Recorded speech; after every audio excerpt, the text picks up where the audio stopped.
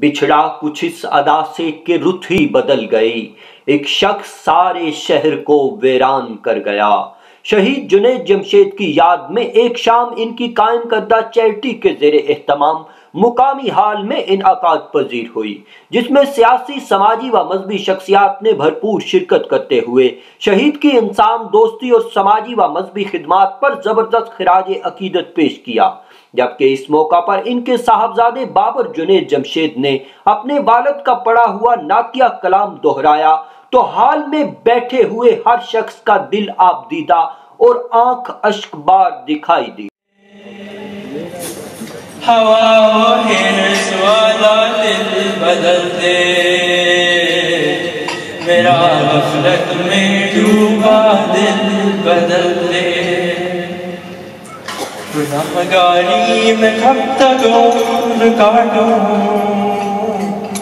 گناہ گاری میں کب تک عمر کاٹوں بدل دے دل کی دنیا دل بدل دے۔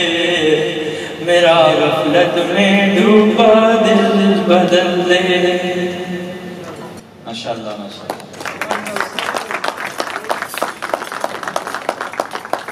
اس موقع پر ورلڈ نیوز سے بات چیت کرتے ہوئے شرکا نے کہا۔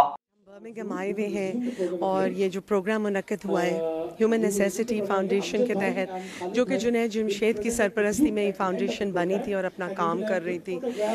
میں بہت شکر گزار ہوں ان آرگنائزرز کی، ان لوگوں کی جو یہاں شریک ہیں اور تمام تر لوگ جو یہاں جنید جمشید شہید کو اور ان کی زندگی کے بارے میں ان کو ٹریبیوٹس دے رہے تھے۔ اس وقت جنید جمشید کا فنڈ ریزنگ ڈنر چل رہا ہے۔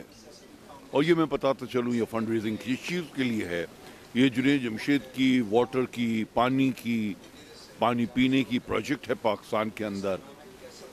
جو ان لوگوں کو پانی پہنچایا جا رہا ہے، جہاں بڑا خوف سے اور تکلیف سے کہنا پڑتا ہے، بچے اور جانور ایک ہی جگہ پانی پیتے ہیں۔ جنید جمشید نے جو پروجیکٹ واٹر کے شروع کیے ہوئے تھے، اس کی ڈونیشن کے لیے ہم لوگوں نے یہ قسم کا فنڈ ریزر کیا تھا، جس میں میڈم فوزیہ قصوری اسپیشل آئی تھیں اور ان کی چیریٹی کے سارے لوگ تھے جنید جمشید کا چھوٹا بیٹا بھی تھا، ان کی مدر ان لا بھی تھی، ان کی ساری فیملی تھی۔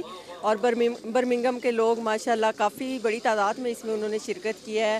اور بہت مطمئن ہے ہم لوگ آج کے ایونٹ سے، بہت اچھا ہوا ہے، انشاءاللہ آئندہ بھی ہم کرتے رہیں گے اس طرح اور امید کرتے ہیں آپ سب لوگ آئیں گے اور اس میں شرکت کریں گے۔ جنید جمشید کے پروگرام میں آج ہم برمنگم میں حاضر ہیں اور یہاں پانی کے پروجیکٹ سے متعلق آج چیریٹی کا پروگرام ہو رہا ہے۔